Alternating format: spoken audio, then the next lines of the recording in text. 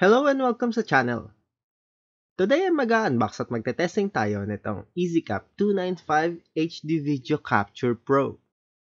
Binili ko ito sa Lazada for 2,665 pesos. May sinama plug adapter si seller na hiwalay pa sa box. Thank you. Meron ding cloth bag na most likely hindi ko gagamitin. At ang box ng ating EasyCap 295. Sa ibabaw ng box, HD video capture. Sa gilid, sabi ay pwede siyang standalone, capture to USB disk, most likely flash drive, no PC required, 1K capture, easy to use, 1080p HD video capture, with editing software, share on YouTube. Sa ibang gilid, HD video capture, HD video capture, at HD video capture. Sa ilalim, More specifications like storage media, USB flash, sabi na. Yung mga resolutions na nakalista dito ay hindi for recording, kundi yung mga kaya niyang ipass through sa TV. Record format, MP4 video, AAC stereo audio, record quality, 1080p at 30 fps, record file, 1.95 GB per file.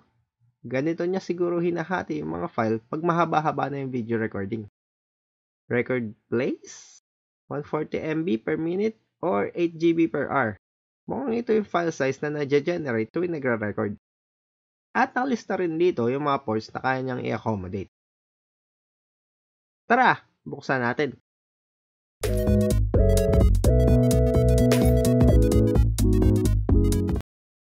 Slide out lang natin yung takip.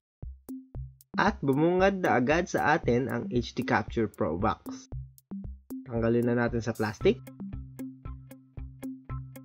Sa ibabaw niya, may pindutan. Sa kanan, may host USB. Dito malamang yung flash drive. Sa kaliwa, mini USB port. Mas luma pa itong port, panahon ng PS3. Sa likod, ang mga input at output ports. At sa ilalim, serial number at ventilation holes. Yata. Meron pang box sa loob Nandito ang ating wall adapter na may EU or rounded socket kaya nagsama ng plug adapter si seller. May component video cables para sa mas lumang console like PS1 or Wii or TV box kung gusto nyo mag-record ng palabas. Meron din remote at nandito lahat ng controls like source, aspect ratio, volume, scheduled recording, resolution, at iba pa. Pero walang kasamang battery, so di rin natin magagamit sa ngayon. Quick start guide, para sa mga di kayang gumamit ng device out of the box. Mini CD, probably may laman ng driver para gamitin pang streaming sa PC. So kung bumili kayo neto at wala kayong CD or DVD drive, may link ako sa description para ma-download nyo yung files. At mini USB cable para sa DC in or PC connection. Wala nang laman yung maliit na box. At yan ang buong laman ng kanyang box. Ibalik na natin sa box ang mga hindi essential at simulan na natin mag-record. Gagamit ako ng flash drive, specifically yung Kingston DT100 G3 na nireview ko dati. So, ikabit natin yung mini USB DC in sa wall adapter. Itong flash drive naman dito sa host USB. Sa HDMI out, ikakabit ang ating TV sa HDMI in naman ang ating console. Sa kaso ay ang PS4 Pro. Pro, nice! So sa ngayon ay connected at working na ang ating setup. Green light siya indicating na powered on. Pag kinlik natin itong nag-iisang button, nagpalit siyang red indicating na recording. Tara, laro na tayo! Supercut lang gagawin ko dito sa review at in-upload ko sa separate video yung buong gameplay. First time ko bumili ng ganitong device at di ko alam kung ano i-expectin. Pero damn, ang ganda ni Aries, I mean, ng, ng, ng, ng, ng recording. Readable pa rin yung mga readable text na naglalaro ako. At parang walang nawala sa details.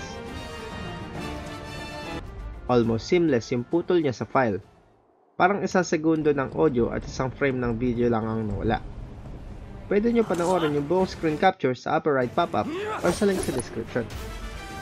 Shit.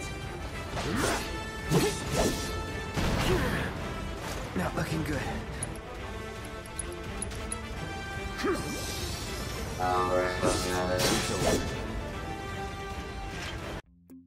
Sabi nga sa ilalim ng box, ang mga file niya ay MP4 AAC format, 1080p 30fps resolution. Inabot ako ng isang oras at siyam na minuto sa recording at total na 7.25GB ang file size. Hinati niya sa 1.95GB per file ang video, pero variable ang bitrate nila so iba-iba rin ang duration. Para gamitin siya pang streaming, kailangan muna natin ikabit sa PC. Tanggalin lang natin yung wall adapter at isaksak sa USB ng PC natin. Again, kung bumili kayo nito at wala kayong CD or DVD drive, meron akong link sa description para sa CD files. Kailangan muna natin installan ng driver na kasama sa CD. Kung hindi, hindi mare-recognize ng PC nyo yung EasyCap. Madali lang install. I-run lang natin yung file na driver install na laman ng CD. Next. At tapos na. Ganun lang kadali. At na-recognize na siya ng PC as IT9910 grabber device. Restart na natin yung PC para mas malinis yung install. Gagamit tayo ng OBS Studio para mag-stream. May link ang website nila sa description. Mag-add muna tayo ng scene, click natin yung plus sign at pangalanan natin game screen. Mag-add naman tayo ng source sa ginawa nating scene, click natin yung plus sign, then video capture. Rename natin EasyCap, then okay. At piliin natin sa device yung IT9910 capture filter. Hintayin onte hanggang sa may lumitaw ng image, at okay. Pwede ka rin magdagdag ng webcam para kita naman yung nagagwapuhan nating pagmuka. Isync natin ang webcam para match siya sa timing ng ating game screen. I-adjust hanggang sa makontento. Marami pa tong features pero kayo na mag-experiment nun. Para pumili ng platform kung saan mag stream punta tayo sa settings, then stream. Sa service, click nyo kung anong gagamitin nyo and show all para makita lahat ng compatible. Sinubukan ko yung Facebook Live. Punta lang sa home, under create post, click yung tatlong dots, then yung live video, at mapupunta tayo sa live page. Sa ilalim ng get started, piliin yung use stream keys at i-copy yung stream key mo. Balik tayo sa OPS, paste ang stream key sa space provided, Then, okay. Click nyo na yung start streaming at maghintay ng 20 seconds. Pwede nyo rin baguhin yan sa settings. 10 seconds later. May makikita na tayong output sa page ng Facebook Live.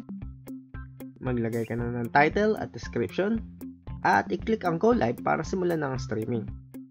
Pwede nyo panoorin yung naging live video ko sa link sa description. Not so fast. We've got company. About naman sa response time, wala akong high-speed camera at iba pang aparatos para matesting yun. Hanggang 60 fps lang ang kaya ng camera ko, kaya kayo na magusga. Try nyo hulaan kung alin dito sa dalawa ang direkta sa TV versus connected sa EasyCap.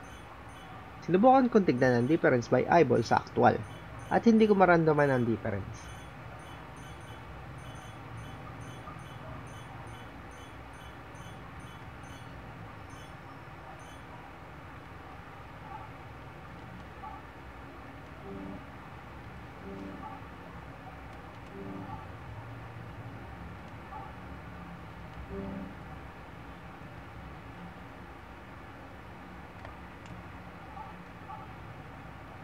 Ano, siret na?